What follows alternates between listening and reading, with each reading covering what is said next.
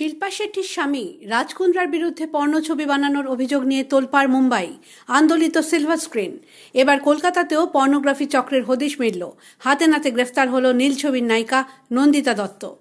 Police সূত্রে খবর, অভিযোগ পাওয়ার পর তিন দিনের মধ্যেই পর্নোগ্রাফি চক্রের পর্দাফাশ হয়েছে। গ্রেফতার করা হয়েছে এই পর্নোগ্রাফি চক্রের মূল অভিযুক্ত দুজনকে। নিউটাউন থানার পুলিশ গ্রেফতার করে নন্দিতা দত্ত এবং তার সঙ্গী মৈনাক ঘোষকে।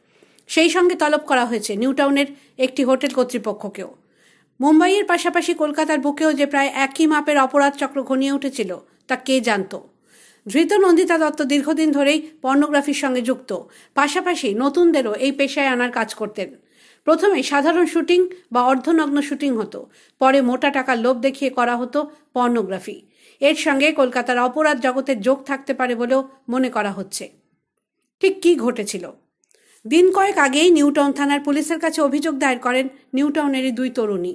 তারা দাবি করেন, মডেল শ্যুটের আশ্বাস দিয়ে নিউটাউনের একটি তিনতারা হোটেলে তাদের ডেকে নিয়ে গিয়ে পর্নোগ্রাফি ছবি শুটিং করানো হয়। এর পরের ঘটনার তদন্ত শুরু করে তিন দিনের মধ্যেই কিনারা করে ফেলে পুলিশ। গতকালই দমদম এলাকা থেকে অভিযুক্তদের গ্রেফতার করে নিউটাউন থানার পুলিশ। জানা গেছে, এই দুই মূল অভিযুক্ত কোঅর্ডিনেটর হিসেবে কাজ করত। আজ গ্রেফতারির পরে তাদের বারাসাত আদালতে তোলা হয়। তাদের চার দিনের পুলিশি হেফাজতের নির্দেশ দেন বিচারক। তাদের সঙ্গে মুম্বাইয়ে যোগ রয়েছে কিনা তদন্ত করে দেখছে নিউটন থানার পুলিশ। আজকে ওদেরকে অ্যারেস্ট করে প্রডিউস করা হয়েছে।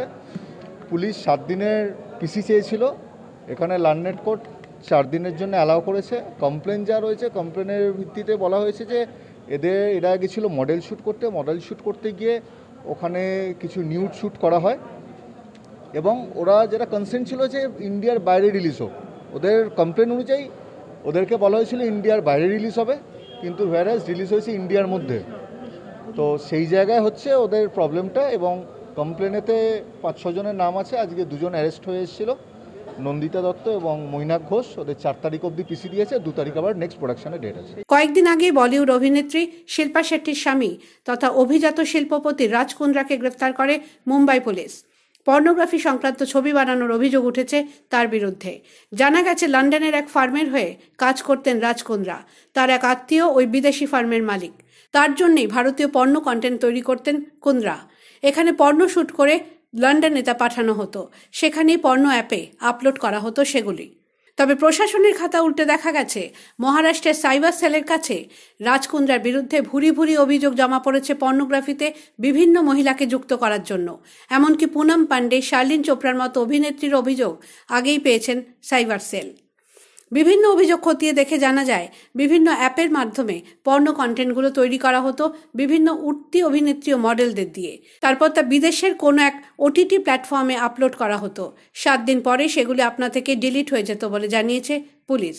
সূত্রের খবর, প্রতিটি পর্ণ প্রজেক্টের জন্য নাকি দু থেকে আড়াই লক্ষ টাকা করে দেওয়া হতো মডেল অভিনেত্রীদের।